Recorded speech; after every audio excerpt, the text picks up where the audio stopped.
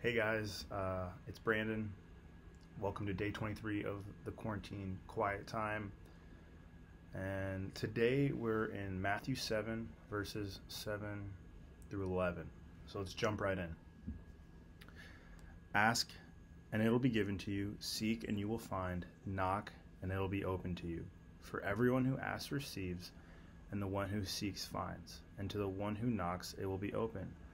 Or which one of you, if his son asks him for bread, will give him a stone? Or if he asks for a fish, will give him a serpent? If you then, who are evil, know how to give good gifts to your children, how much more will your Father who is in heaven give good things to those who ask him? Now, can you guys think of a time where you've had to persist at something? I think maybe it could have been you had to work real hard for a grade in a class. Had, or maybe there was a relationship that just needed some time and effort to kind of you know navigate some some some tension, or maybe it was you really wanted that part in the the play at school. Um, for me, it was uh, played baseball in high school, and I, I had to train persistently to earn a spot on the team. Uh, I think it's very rare in life for something to just land in our laps, um, especially without showing any interest in it. And so I think this is what, what, where God is saying, like, we need to ask, we need to, we need to seek, and we need to knock. And my study Bible here, I think, breaks that down really well. Um, it says, Ask. Disciples should come to God in humility and awareness of need. Okay, so we need to come to God just humble, knowing what it is we need, and just ask for it.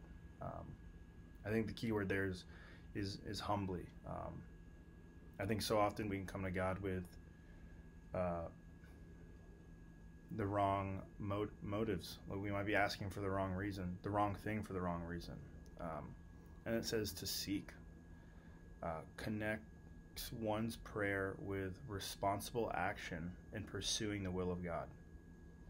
So you know, when we come to Him, we're we're we're looking to you know we're seeking, we're looking to connect with Him, and we're we're trying to live out the will He has for us. Um, and then the knocking suggests perseverance. I think, uh, you know, it says disciples are to persist in prayer, confident that their Father will provide whatever is best for them according to his sovereign, gracious will. I think that knock, that persistency asked for, is just us letting him know how much we want it. Um, you know, it's sometimes with people, we, we, we, we tell them we want something, but we don't show them. And so I think this persistent knock is just letting him know, God, like I really want this, and I'm I'm I'm I'm asking. I'm asking wholeheartedly, and we're showing up, and we're we're we're coming back again and again and again. Um, so ask, seek, and knock, and at in verse eleven where it says, "If you then, who are evil, know how to give give good gifts to your children." The evil is really just pointing at the fact that we're flawed people and it's talking about parents. And you know you might love your parents. I love mine. And you might feel like they are the best parents ever. And i'm sure they're great ones.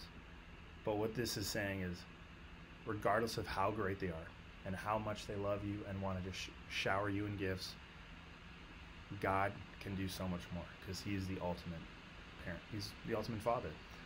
So Again, guys, let's ask, seek, and knock. Uh, yeah. Have a great day.